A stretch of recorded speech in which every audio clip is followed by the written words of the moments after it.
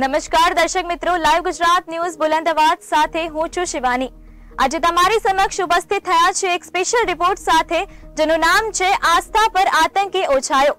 હજુ થોડા સમય પહેલા રામ મંદિર નિર્માણનું ભૂમિપૂજન કરવામાં આવ્યું હતું.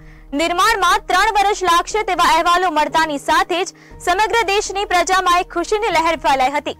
ત્યારે આવા ખુશીના સમયે દેશવાસીઓની ખુશીઓમાં જાણે ગ્રહણ લાગે તેવી બાબત સામે આવી છે. રામ મંદિરનું નિર્માણ ન થવા દેવા આતંકીઓ ફરી એકવાર તેમના મનસુબા ઘડી રહ્યા છે. આતંકીઓ દ્વારા અગાઉ પણ રામ મંદિર વિવાદને લઈને અનેક કાવતરાઓ ઘડાઈ ચૂક્યા છે અને દેશની ભોળી જનતાને આતંકીઓના કાવતરાનો ભોગ પણ બની છે. સાથે જ આતંકીઓના મનસુબાઓને નેસ્તો નાબૂદ કરવા સતત કાર્યરત રહેતી પોલીસ ફોર્સ, નેવી અને આર્મી આપણા દેશની ત્રણેય સજાગ પાંખો છે, જે આવા આતંકીઓના મનસુબાઓને સતત નિષ્ફળ બનાવી રહી છે. દેશ પર તોડાયો કોરોનાની સાથે આતંકવાદનું જોખમ. દિલ્હી પોલીસની સ્પેશિયલ સેલ એન્કાઉન્ટર પછી આઈએસના એક આતંકીને ઝડપી પાડ્યો. ઝડપાયેલો આતંકી અબુ યુસુફ ખાન કરી રહ્યો હતો લોકોની રેકી. દિલ્હીના જયંતિ પાર્કની આસપાસ તૈનાત કરાયા સિક્યુરિટી ગાર્ડના કમાન્ડો. એન્કાઉન્ટર દરમિયાન બીજો આતંકી પોલીસની ગિરફ્તારમાંથી થયો ફરાર. આઈએસ સાથેના કનેક્શનના આરોપમાં બેંગલુરુના ડોક્ટરની કરાઈ ધરપકડ. પૂછપરછમાં સામે આવ્યા કેટલાક ચોંકાવનારા ખુલાસા.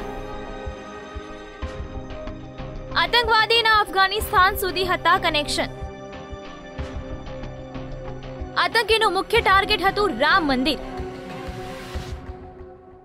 લોકોની આસ્થા પર ફરી આતંકી હુમલો. દેશ પર કોરોનાની સાથે હવે આતંકવાદનું જોખમ પણ વધી રહ્યું છે. દિલ્હી પોલીસની સ્પેશિયલ સેલે એન્કાઉન્ટર પછી ઇસ્લામિક સ્ટેટના એક આતંકીને ઝડપી લીધો છે. તેની પાસેથી આઈઈડી વિસ્ફોટક પણ મળ્યો છે. વિસ્ફોટકને નિષ્ક્રિય કરવામાં આવી રહ્યો છે. શરૂઆતની પૂછપરછ પછી આતંકીને કોર્ટમાં રજૂ કરવામાં આવ્યો હતો. કોર્ટે તેને આઠ દિવસના પોલીસ રિમાન્ડ પર મોકલી દીધો છે. દિલ્હી પોલીસની સ્પેશિયલ સેલની મળતી માહિતી મુજબ ઝડપાયેલા આતંકીનું નામ અબુ યુસુફ ખાન હોવાનું સામે આવ્યું છે. ઉત્તર પ્રદેશની એન્ટી ટેરરિસ્ટ સ્ક્વોડ દિલ્હી પોલીસની સ્પેશિયલ સેલ લોધી કોલોની ખાતે આવેલી ઓફિસ પહોંચી છે. આતંકી યુસુફને ત્યાં જ રાખવામાં આવ્યો છે.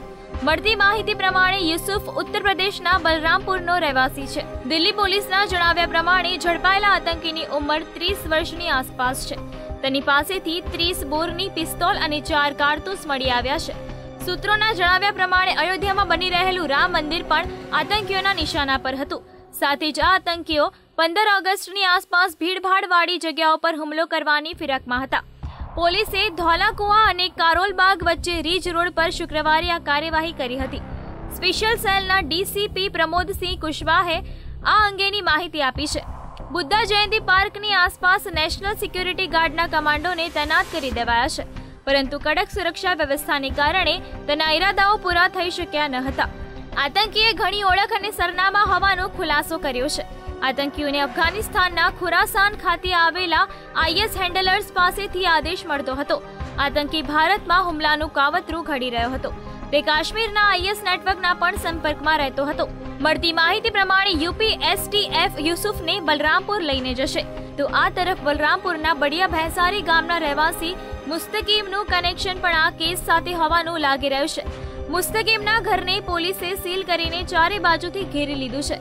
મુસ્તકીમ શુક્રવારે પોતાના કોઈ સગાવાલાની સારવાર કરાવવા માટે લખનૌ ગયો હતો અને ત્યાંથી ગુમ થયો છે.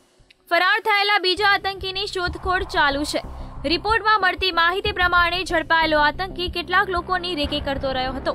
કાવતરામાં સંડોવાયેલા લોકો અને બે આતંકવાદી પકડી પાડવા માટે ચક્રો ગતિમાન કરવામાં આવ્યા છે. મળતા અહેવાલ પ્રમાણે એન્કાઉન્ટર દરમિયાન બીજો આતંકી ફરાર થઈ ગયો હતો. તેની શોધમાં પોલીસ પણ ઘણા વિસ્તારોમાં રેડ પાડી રહી છે. અગાઉ પણ નવ જાન્યુઆરીએ દિલ્હીમાં આઈએસના ત્રણ આતંકીઓની અથડામણ પછી ધરપકડ કરવામાં આવી હતી. આ ત્રણેય ગણતંત્ર દિવસે આ તમામ હુમલાની ફિરાકમાં હતા. ત્રણેય આતંકી તમિલનાડુથી ફરાર થયા હતા. જેમના ત્રણ સાથી નેપાળ ભાગી ગયા હતા. બે આતંકીઓ પાસેથી હથિયાર પણ મળી આવ્યા હતા. Bureau report, live Gujarat news. આતંકીઓના મનસુબાને દરેક વખતે નેસ્તો નાબૂદ કરતી દેશની ત્રણેય પાખોને ખરેખર દિલથી સલામ છે. એટલે જ તો કહેવાય છે ને કે જેને રામ રાખે તેને કોણ ચાખે? લાઈવ ગુજરાત ન્યૂઝ પર પ્રસારિત થનાર સ્પેશિયલ રિપોર્ટમાં બસ આટલું જ. ફરી એકવાર આવા જ બોલંદ અહેવાલ સાથે ફરી ઉપસ્થિત થઈશું. ત્યાં સુધી રજા આપો. નમસ્કાર.